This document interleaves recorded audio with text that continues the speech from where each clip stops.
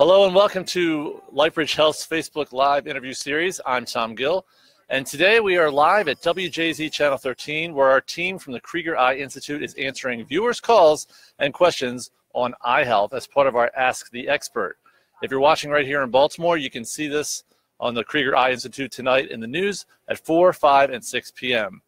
Right here on Facebook, we are going to be talking to Don Abrams, director of the Krieger Eye Institute, about taking care of our eyes. And if you have a question for Dr. Abrams, please post it in the comments section below.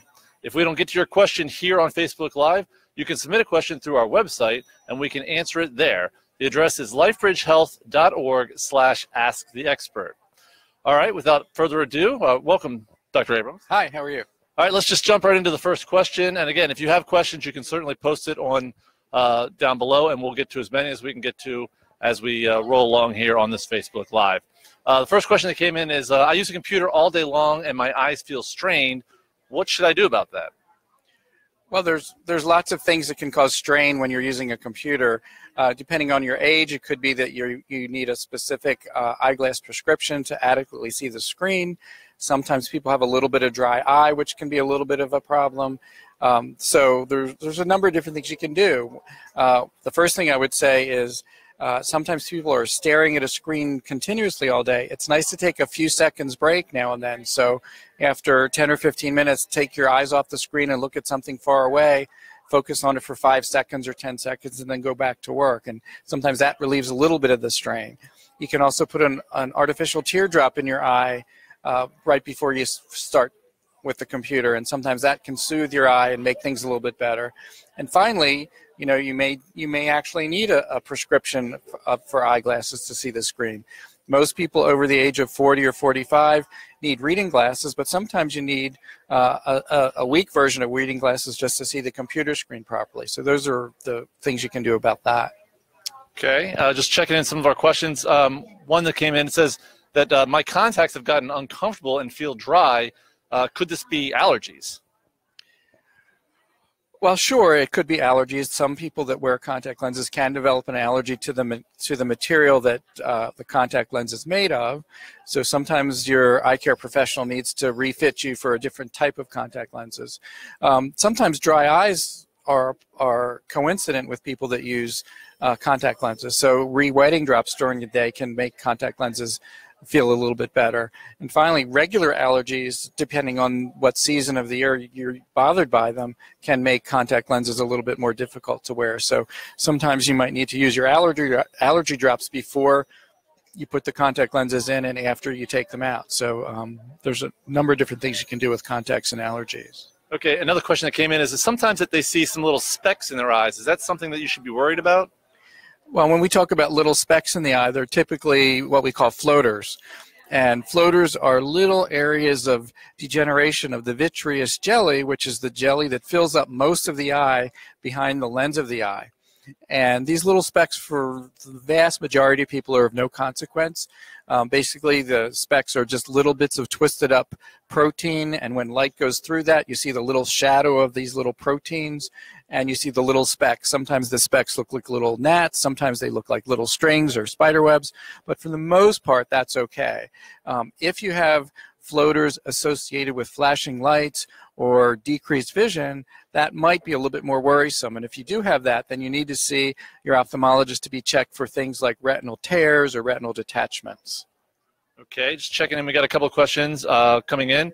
Sharon writes that sometimes it, um, when she's uh, looking at small print, like on her phone, it's blurry, uh, and sometimes she, you know, gets vision is kind of blurry when she's tired. Is this a sign that she would need to buy some reading glasses?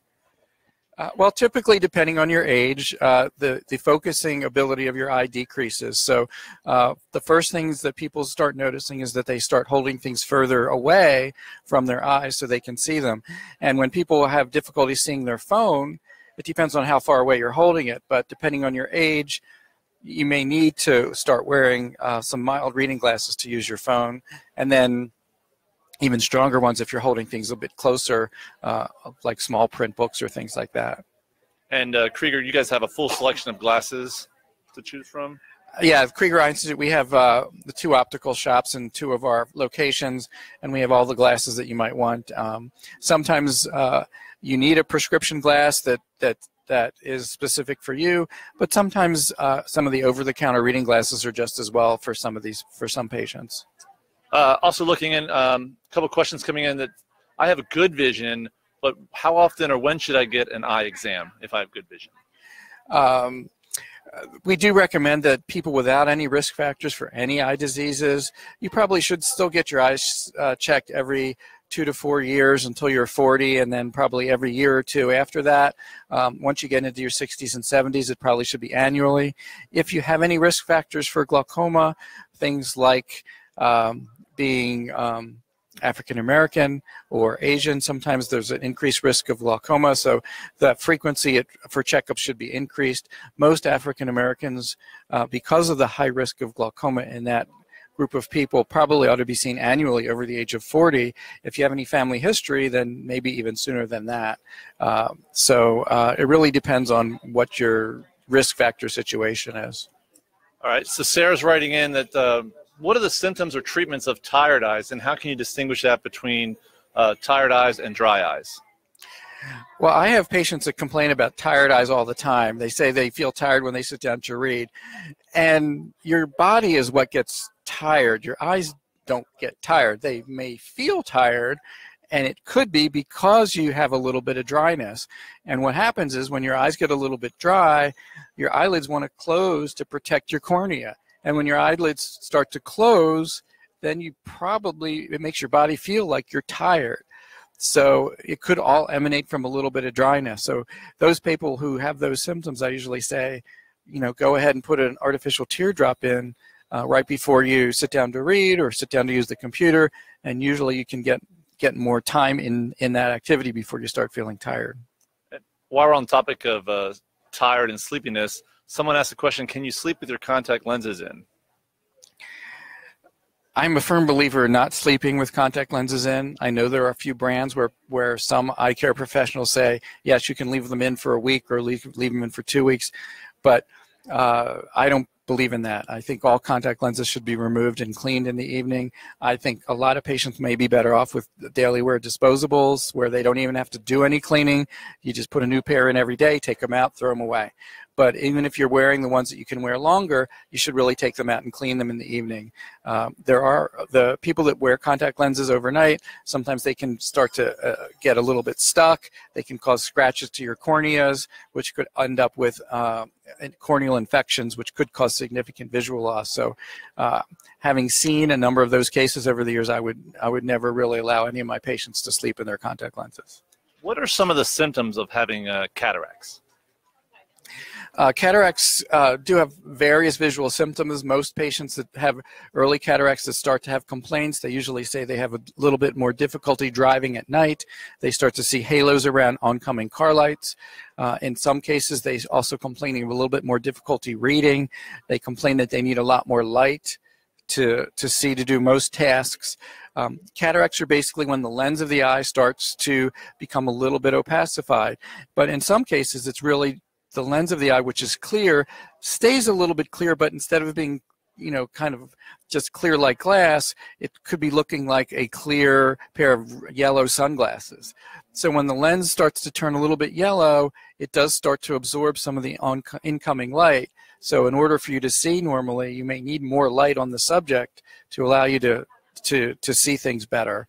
Um, uh, also, depending on how quickly the cataracts form and, and what the actual cataract looks like, you could have other things. You could have um, significant blurriness. Uh, you could have times of day when things are better and other times when it's worse, depending upon your pupil size. So, um, any any kind of visual concern could be a cataract. Um, I would say if you have uh, any kind of complaints with blurred vision, you really ought to be evaluated because not every time is it a cataract. It could be other things like macular degeneration or glaucoma or or um, diabetic retinopathy or any of the other eye diseases. Okay. So uh, Sarah wrote in. She said that her three-month-old son uh, doesn't tear out of his left eye in the morning. There is frequent uh, eye crust in his left eye. Is this something she should be concerned about? Well, you know, infants do sometimes have tearing issues. Sometimes they tear too much. Sometimes they don't tear enough. Um, in general, um, most of these things work themselves out, you know, in the first year of life. Uh, if you're very concerned, you can take your, your child to an ophthalmologist or a pediatric ophthalmologist for evaluation. Usually, um, the, some of the tear duct issues do resolve. Sometimes it's a matter of just massaging the tear ducts in the infants early on. But if there's still a problem over the age of uh, a year or nine months or a year, you probably ought to have the child evaluated. Okay. And um, Allie writes in, she says, a lot of eye drops bother my eyes. What would you recommend that I use for contact solution or eye drops that won't cause inflammation or irritation? Well, you know, most of the eye drops on the market do have preservatives in them. So there, a lot of people are allergic to some of those preservatives. So uh, for for somebody like that who's wearing contact lenses, uh, sometimes some of the uh, re-wetting drops that are in bottles may not be the right thing because of the preservatives in them.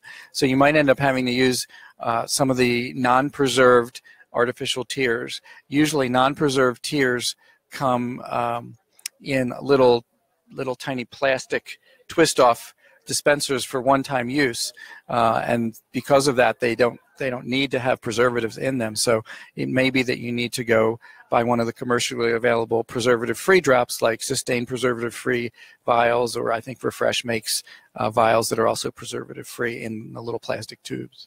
Okay, and uh, again, just a reminder that you're watching uh, LifeBridge Health's Facebook Live from WJZ TV, where experts from the Krieger Eye Institute are answering calls from viewers with questions about eye health. Right here on Facebook, we're talking with Dr. Don Abrams about uh, eye health. And on Facebook, you can post this question right here in the comments section and by submitting it. Or if we don't get to your question, you can do it on the website, which is lifebridgehealth.org slash ask the expert. If we don't answer your question on Facebook Live, we'll answer it on the website, which again is lifebridgehealth.org slash ask the expert. Let's jump into uh, another few questions here. What is macular uh, degeneration? Yeah, well, macular degeneration uh, is a disease of the center part of the retina. Um, it's where uh, some of the layers of the retina aren't working properly, and it, the layer of the retina that is generally responsible for bringing in nutrients and taking away waste products from the cells just aren't working perfectly. So what happens is you can get buildups of um, waste products that can start to cause some uh, distortion in, in your vision. Excuse me. They can also, um, because of the nature of the vascular supply of the retina there, the, the, some new blood vessels can start to grow um, and cause different sorts of issues. Basically, macular degeneration is sort of broken down into two main categories. The dry kind, which is the kind where there's just accumulations of uh, uh, this cellular debris and areas of atrophy and the wet kind which is where new blood vessels are growing. The wet kind is the kind that tends to progress relatively rapidly and you may know people who get injections into their eyes and those are the patients with macular degeneration that have the wet type which is about 10% of the macular degeneration patients since the mid 2000s, we've had these injections, which have been terrific to help to prevent further decreasing vision and to stabilize people's vision. The dry kind, uh, right now, the major uh, treatments are uh, just sort of palliative. We, we do recommend patients use um, some of the eye care vitamins to help um, with the antioxidant situation, which can help sometimes stabilize the retina. Um, if you do have it, it you obviously probably already being seen by an ophthalmologist and or a retina specialist and probably getting the right amount of follow-up. Okay, Nicole asked the question, is glaucoma genetic? If her mom or uncle have it, is there a good chance she's going to get it too? Uh, there are there are genes that are encoded for glaucoma. It's a very multifactorial, multigenetic issue. Um, uh, in practice, uh, if you have relatives with glaucoma, you probably do have an increased risk of getting it. Uh, the risk is probably greater if you have siblings with glaucoma rather than aunts, uncles, or grandparents with glaucoma. Um, depending upon your particular situation, that, that can be a significant risk factor for glaucoma. If you have a family history of glaucoma, and you have and you're African American, you are very high risk of glaucoma. So depending upon your situation, uh, the risk factors can pile up and uh, uh, make it more imperative that you get careful follow up. Okay, uh, another question. When I blow my nose hard, sometimes clear fluid comes out of the lower of my lower eye. Is this normal? Well, the tear ducts are connected to the back of your throat, so or the back of your nose. So um, it's not impossible for uh, you to blow your nose and have the material in your nose go the other direction. It would be uncommon, but I suppose if you blow your nose, blow your nose hard enough, it can happen. And uh, how does diabetes impact your eye health? Well, diabetes is a significant uh, cause of um, uh, eye disease, and we call it diabetic retinopathy. Um, people who have relatively unstable blood sugars have a risk of having the blood vessels in the retina becoming more incompetent. So basically, some of the very tiny vessels become weak.